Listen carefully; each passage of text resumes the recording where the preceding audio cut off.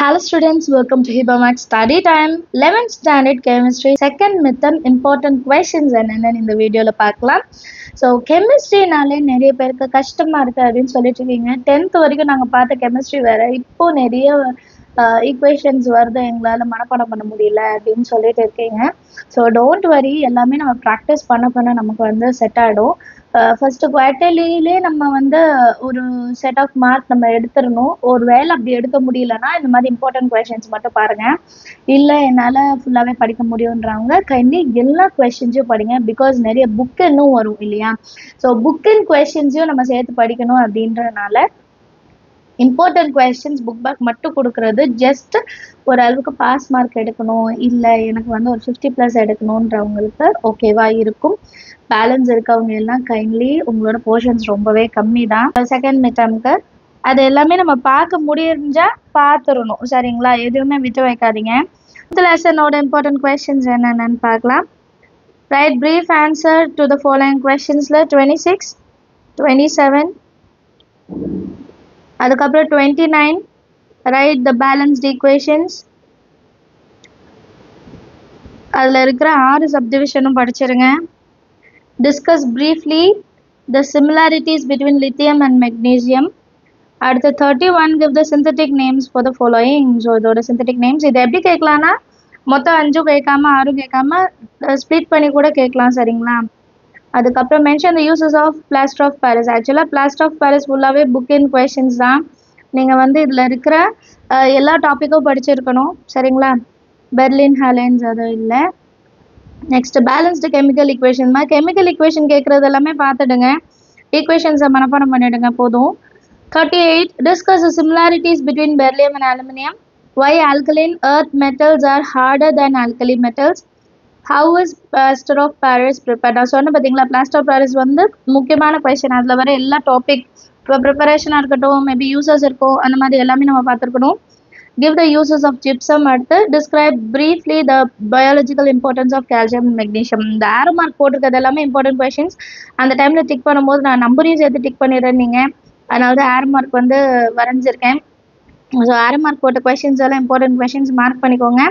Skip பண்ணாமல் படிச்சுடுங்க. அடுத்து நைன்த் லெசன் பார்க்கலாம்.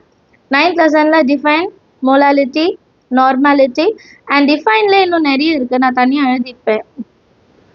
Mole fraction isotonic solution one half factor இதெல்லாமே டிஃபைனில் வரும். நான் லாஸ்ட்டாக இதை திருப்பி காமிக்கிறேன்.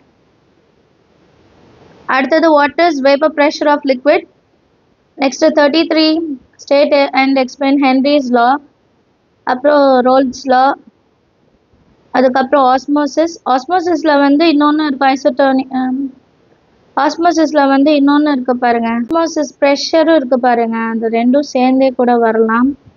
அப்புறம் ஐசோட்டானிக் சொல்யூஷன் அடுத்தது explain effect of pressure on solubility mark பண்ண விட்டுருக்கேன் சாரி ஸோ அந்த கொஷின் ஃபஸ்ட்டு வந்து நியூமரிக்கல் ப்ராப்ளம்ஸ் இப்போதைக்கு எடுக்காதீங்க. சரிங்களா? முதல்ல தியரி கொஷின்ஸ் எல்லாம் முடிங்க. அதுக்கப்புறம் நம்ம அது சைட் போய்க்கலாம். Nine point நைனும் nine point ten reverse osmosis பற்றி படிச்சுக்கோங்க. அதை மிஸ் பண்ணிடக்கூடாது. இது இல்லாமல் ஒரு சில இம்பார்ட்டன்ட் கொஷின்ஸ் என்னென்னா லிமிடேஷன்ஸ் ஆஃப் ஹென்ரிலா என்ன? ஸ்டேட் ரோல்ஸ்லா டிஃபைனில் வந்து normality mole function isotonic solution one half factor what is osmosis pressure அடுத்த chemical bonding lesson define the following. Bond order hybridization. What is pi bond? அடுத்தது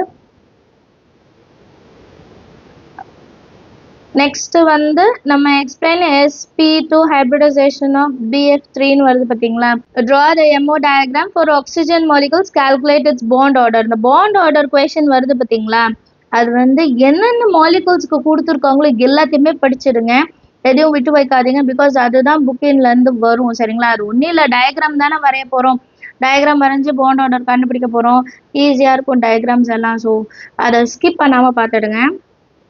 அடுத்து formation of N two அப்புறம் draw MO diagram of C one calculate is bond order so இது மாதிரி இருக்கிறது எல்லாமே பார்த்துருக்கணும்.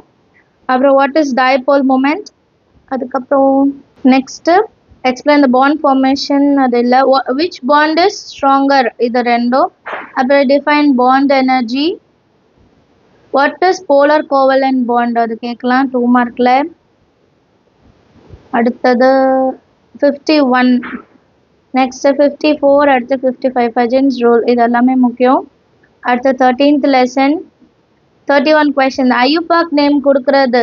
சரிங்களா? கரெக்டாக எழுதினா தான் மார்க்கு ஞாபகம் வச்சுக்கோங்க. இதில் நீங்கள் மிஸ் பண்ணீங்கன்னா மார்க் கிடைக்காது. ஒரு ஒரு வேர்ட் நம்ம மாற்றினாலும் மார்க் கிடைக்காது. ஸோ அதை ரொம்ப கவனமாக எழுதி பாருங்கள் அதுக்கப்புறம் thirty six mechanism of nitration of benzene அப்புறம் தேர்ட்டி செவன் ஃபார்ட்டி ஃபோர் இந்த சைடு ஃபிஃப்டி ஃபார்ட்டி ஃபோருக்கு அப்புறம் ஃபிஃப்டி தான் how will you distinguish one butane and two butane அப்புறம் யூனிட் ஃபோர்டீனில் unit fourteen brief ஆன்சரில் why chlorination of methane is not possible in dark அதுக்கப்புறமா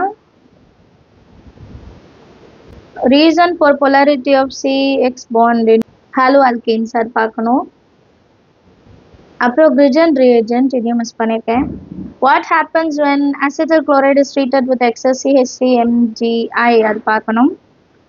அதுக்கப்புறம் what happens when chloroform reacts with oxygen the presence of sunlight இதெல்லாம் பார்த்துடணும் சரிங்களா? அப்புறம் compare கொடுத்துருக்காங்க அது ஒன்று பார்த்துடுங்க.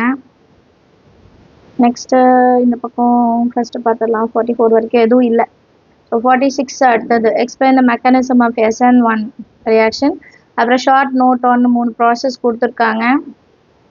அதுக்கப்புறம் ஃபிஃப்டீத் கொஷின் டிடிடி குளோரோஃபார்ம் அதுக்கப்புறம் எதுவும் இல்லை. சரிங்களா? ஸோ நான் முன்னாடியே சொன்ன மாதிரி முதல்ல வந்து ப்ராப்ளம் சம்ஸ் போகாதீங்க. தியரி பாருங்கள் கெமிஸ்ட்ரி எக்ஸாமுக்கு ப்ரிப்பேர் பண்ணும்போது ஃபஸ்ட்டு புக் பேக் கொஷின்ஸ் கம்ப்ளீட்டாக முடிங்க. அதுக்கப்புறம் புக்கின் பற்றி நம்ம பார்க்கலாம். சரிங்களா?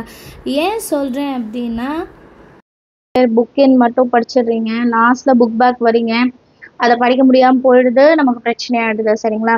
அதே மாதிரி நிறைய பேர் ப்ராப்ளம்ஸ் ஃபஸ்ட்டு எடுக்கிறீங்க. ப்ராப்ளம்ஸ் எடுக்கும் போது டைம் ஜாஸ்தியாக எடுக்கும். டைம் வந்து நிறைய போயிடும் டைம் அவுட் ஆகிடும் அதுக்கப்புறம் நமக்கு இருக்கிற டைமில் தியரி கொஷின்ஸ் படிக்கிறது கஷ்டம்.